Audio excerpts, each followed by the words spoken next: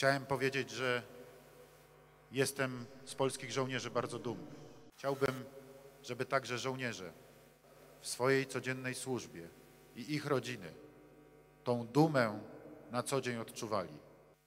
Chciałem Wam wszystkim życzyć i sobie, żeby Polska była bezpieczna, żebyśmy umacniali nasze miejsce w Sojuszu Północnoatlantyckim, Życzymy Panu i wszystkim Polakom radosnych, spokojnych, rodzinnych świąt Bożego Narodzenia. Proszę również przyjąć życzenia z okazji nadchodzącego nowego roku, aby przyniósł on ze sobą szczęście i pomyślność.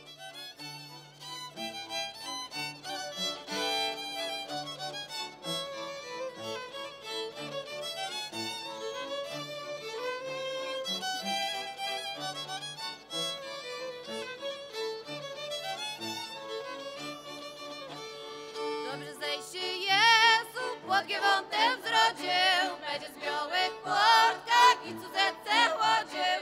Imiona mój dusik z piórkiem, kapelusik, hej kolenda, kolenda. Imiona mój dusik z piórkiem, kapelusik, hej kolenda, kolenda.